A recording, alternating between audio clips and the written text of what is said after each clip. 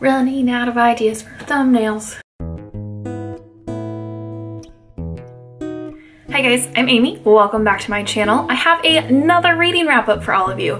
So to make up for the fact that I didn't read throughout the first three weeks or so of September, I've read six books. One is a graphic novel. Another is a very, very short little beginning reader, not quite middle grade type read. So a couple quick ones, but I do have some novels in here. And they pretty much range all over the place, which is always exciting and always makes me very happy to read as broadly as possible.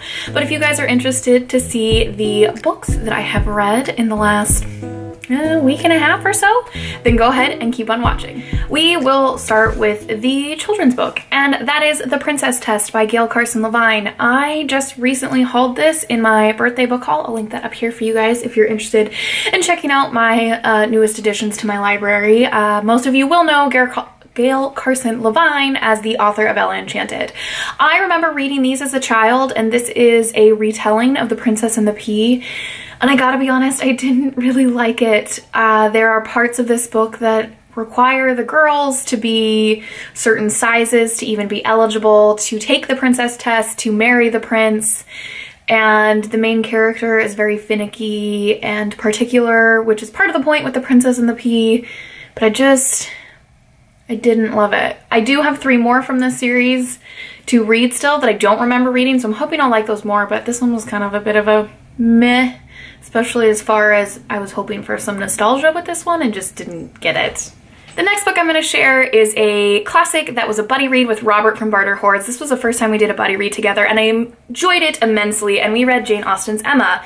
And in this book we follow Emma who's 21 years old and of the upper class. She's not a lady but she is um, her father's a gentleman. She lost her mother years and years and years prior, doesn't really have many memories of her. And we kick off this book with Emma having successfully paired and played matchmaker between her governess, Miss Taylor, and a local gentleman. I don't remember his name exactly right now. That's kind of bothering me, but that's okay. It's not important.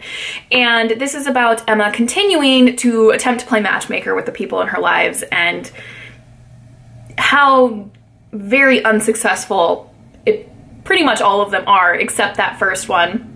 And this book has a huge commentary on class and what it means to be a part of high society versus the working class and how they interact and who gets to marry who and who gets to move up in society but who doesn't.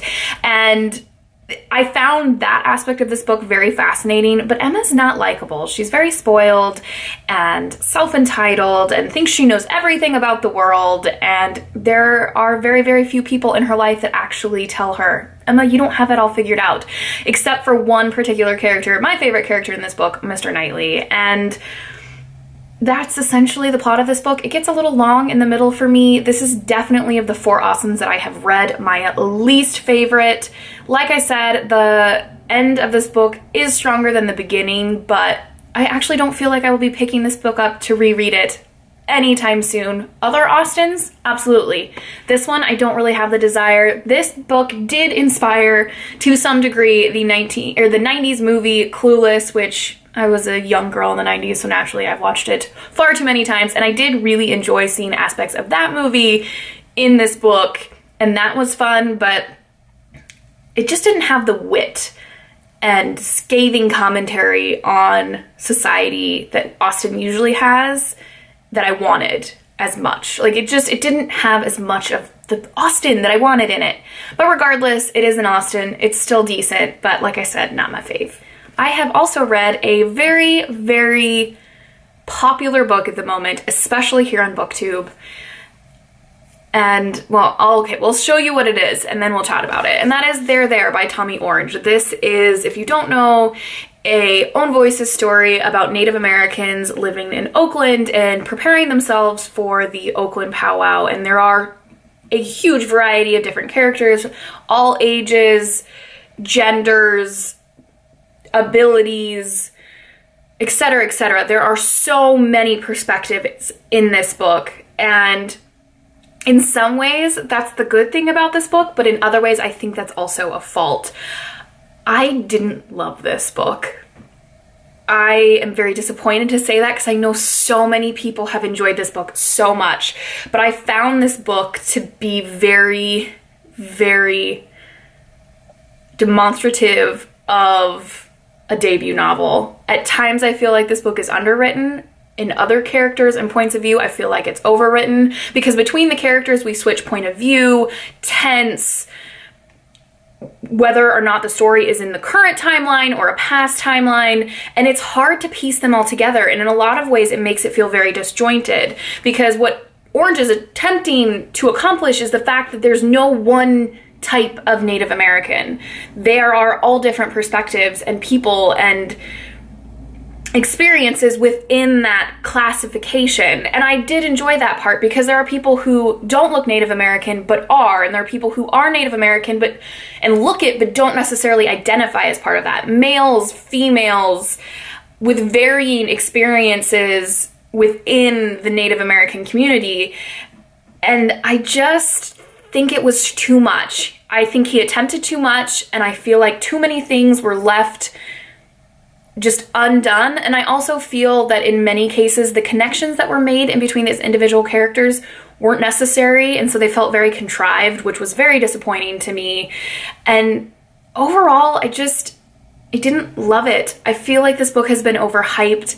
I did enjoy the own voice, voices aspect of it. I liked hearing about this urban Indian and the different perspectives within this community of people and these different experiences, but I don't find the execution to have been very successful. I know I'm in the minority on this, but there you have it, guys. I've read a popular current book that was published this year and it just, it didn't, it didn't work for me for a variety of reasons, but it's not without its merits. I would love to know your thoughts for sure. If you have read it, please let's chat about it down below because there is just so much in my brain about this book.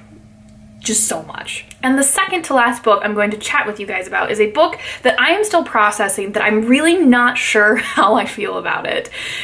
Because there's just, I've had varying reactions and responses to different aspects of this book. And that is The Dinner List by Rebecca, Rebecca Serle. This book, we follow Sabrina, who shows up to her birthday dinner with her best friend, in which all the people that she put on this list when she was in high school, when, or excuse me, college, when her friend Jessica, who's at this dinner with her, says, if you could invite any five people to dinner, dead or alive, who would they be? And they're all there. So Audrey Hepburn is at this dinner, her estranged father, uh, her ex-boyfriend, and a college professor, and then her best friend Jessica. And it's about their dinner that they have. So the current main storyline is over the course of one night, several hours, in which they have dinner. And then you get these flashbacks about Jessica's interactions, largely with her boyfriend Tobias. And what this book is about is about relationships and the fact that they're messy and they're not clean and they're not always perfect. And it's about the different opinions and ideas and thoughts that people have about relationships and what a relationship should be and what it shouldn't be. And I really, really did enjoy this discussion on what a relationship is and the fact that they're not clean cut. They're not always pretty, and oftentimes they're not. And you have these big, great highlight reel memories with some people, but then there's the little things that fall in between the cracks that really aren't so great. So I really enjoyed that part of it, but I did at times get sick of the relationship between Tobias and Sabrina. I found it to be exhausting and exasperating in many ways. And but on the other hand, I loved all of the chapters in which they all these people are at dinner and interacting. My favorite character by far is Conrad, her philosophy professor from college. I found him to be fascinating and the perfect facilitator for this dinner, this very magical realism type of dinner. And this book took me in places I didn't expect it to. And I bawled at the end of it, which I was not anticipating because up until that point, I wasn't sure whether or not I was even enjoying it or liking it, let alone had enough of an emotional connection to some of these characters to actually cry. But this is another one, and this happens to me frequently, in which I've spent more time away from it, I've liked it more, and I've enjoyed it more. And I kind of want to go back and read it again. I interacted with this a lot as far as annotating and writing notes and marking passages. And again, I would really like to chat with you guys about this book if you've read it because I've heard some mixed reactions, reviews about this book. And I did enjoy Sarah's writing and would like to read more from her. So it, it, was an interesting experience, a very, very quick read. I definitely recommend checking it out because it's just something I haven't read before and I enjoyed that aspect of it a lot, but still, like I said, some mixed reactions while I was reading it. And the last book I have to share with you and my favorite of this bunch with without a doubt is the graphic novel here by Richard McGuire. This book is stunning. So the premise of this book is that you are looking at one specific ge geographical location throughout all of time. You go to way, way past, like pre-human dinosaurs to even in the future, this hypothetical future. And so you get these snippets of, so this is taking place in 1999, and this is taking place in 1775, but then you see in 1936 this is happening. So this is in one physical spot, and the illustrations are gorgeous. And I thought I would like this book. I had high hopes for it, but I didn't anticipate there being such a strong narrative within a book that just has so minimal words. Essentially, what this book is discussing and presenting in such a successful way is the fact that things don't live forever. We are constantly changing and evolving, and things end and new things begin. And he, McGuire so successfully accomplished this and got this point across that we are not forever. Our current way of life is not forever, just like the Native Americans who lived in that spot, their life was not forever. Or the people who lived in the manor house, or the dinosaurs who lived there. There's a beginning and an end to everything. And there's these interesting tidbits in the end of this future world that just really drove that idea home. And I just, I loved it so much. I also love that the at least from what I could tell, as the closer we got to the future, or present day, the pictures were more distinct and uh, the shading and such was a lot, was uh, harsher and more direct, whereas in the past it was almost through this like film, this haze, because all this time has passed. And then the future snippets that we saw, it's this is ethereal, whimsical, airy type feel because it's not determined yet. I think this book is gorgeous. I loved, loved, loved this book. If you haven't read it, go read it. You will not be disappointed. It, it, astounded me. I read it in a single sitting, and I think that's the best way to read it. I think that really just gives you that whole experience and where we've started as humankind, slash, just the world and this physical spot and how things change. And it's just, I don't think that was very comprehensive or cohesive, but hopefully you got the idea that I just adored this and you need to read it because it's stunning. The artwork is beautiful, the concept is so clever and original, and you will not be disappointed at all. All right, guys, so I lied. That was not the last book I have to share with you guys because I totally forgot about an ebook that I read this month that is or has been one of my most anticipated releases of this year, and that is My Plain Jane by Cynthia, Cynthia Hand, Brodi Ashton, and Jodi Meadows. This is the second book in the, oh, the Janies series? I can't remember the name exactly. I apologize. I will mark it up here for you guys. And this is a retelling of Jane Eyre in which there are ghosts and mediums and supernatural happenings and it was fun. It was very, very fun. I do have to say, I did not love this book as much as I loved My Lady Jane, which was the first in the series.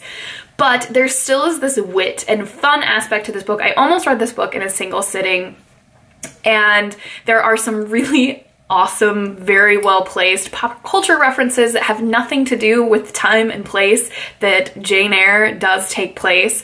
But we have three main characters whose point of views we get. We get Jane Eyre's point of view, Charlotte Bronte's point of view, and a gentleman named Alexander, I believe, who gets mixed up with Charlotte and Jane. And it was fun it was a good, enjoyable, quick YA simple read, which was exactly what I needed because I think I read this book after I finished Emma and was just feeling kind of meh about it. So again, I didn't absolutely love it, but I liked it and once it comes out in paperback, I will add it to my shelves. But if you're interested in kind of just a fun, spooky-ish retelling that involves ghosts and adventures, then definitely check it out. It's it's a quick read, like I said. Okay, now there you have it all of the books that I have read recently. If you guys have read any of them, please let me know all of your thoughts, whether you agree with me, disagree with me, we're just neutral about the book, because sometimes I think that's worse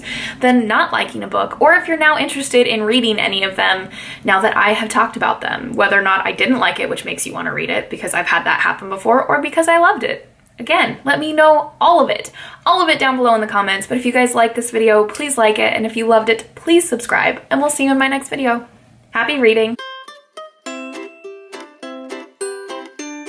I forgot one. I forgot to talk about a book because I read it on ebook and it's not in front of me.